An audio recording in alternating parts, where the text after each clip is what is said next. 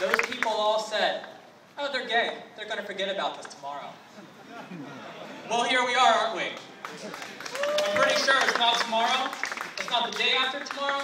It's a few days after the fact. And we're going to keep this message